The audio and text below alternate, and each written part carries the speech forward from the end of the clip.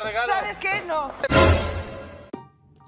La mañana se volvió candente en el set de hoy cuando Andrea Legarreta, la destacada figura del programa, decidió tomar cartas en el asunto frente a la actitud de su compañero Paul Stanley hacia Tania Rincón.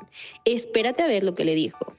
En una dinámica llamada sentido, Stanley y Rincón se enfrentaron en una competencia, pero el resultado no fue el agrado de todos.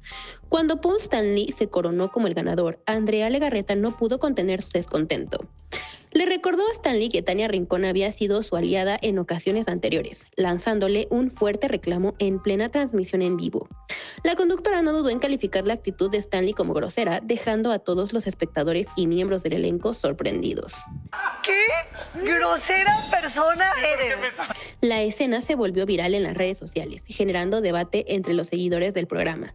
Sin embargo, la tensión no duró mucho. Tania Rincón, con su característico sentido del humor, respondió a la traición de Stanley, comparándolo con Judas, pero todo en tono de burla. ¿Ni Judas se atrevió a pesar del momento de tensión, los conductores de Televisa demostraron que las diferencias quedaron en el set.